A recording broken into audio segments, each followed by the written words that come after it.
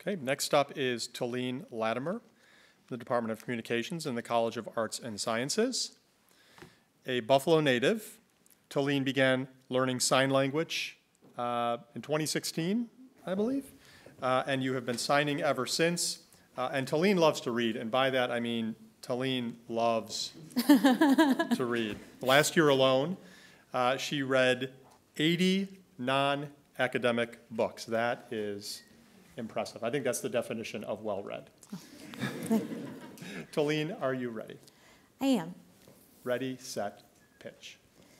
If you can keep your hand raised, who knows someone who's had Alzheimer's disease or dementia? You can break the 90 degree rule and look around really quick. I keep my hand raised with you as someone who was a caregiver for over six years.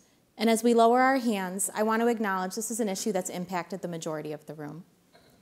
Alzheimer's disease and related dementias, known as ADRD, are terminal, and they affect three things our thinking, functioning, and memory. One in three adults will develop this disease, and given the growing aging population, it's expected that those numbers will more than double in the next 20 years. Yet ADRD research lacks diversity. It focuses on mainly white and English speaking populations. That's not representative of everyone in the US, and it's certainly not representative of just us here today. One group that's continually overlooked is the deaf community, despite hearing loss being one of the highest predictors of developing this disease. And by deaf, we're talking about capital D deaf people. They are a unique minority with their own language, culture, and community, and they see their deafness as part of their identity, not something to be changed. My research looks to bridge this gap by understanding how do we promote equitable aging and end-of-life care for deaf populations affected by ADRD. To do this, I went to the community. For over two years, I worked with the Alzheimer's Association, deaf community organizations, and deaf caregivers to try to understand what barriers face this group. The community shared with me that they did not have a single resource available to them in sign language.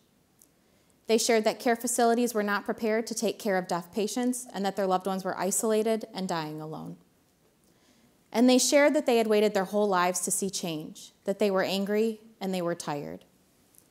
It was really quite simple. Deaf caregivers wanted to be able to learn about ADRD in their own language, care for their loved ones, and be part of this change.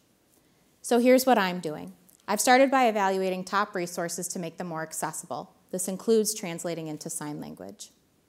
I'm providing care guidelines for organizations looking to work with this population and involving deaf caregivers in this process.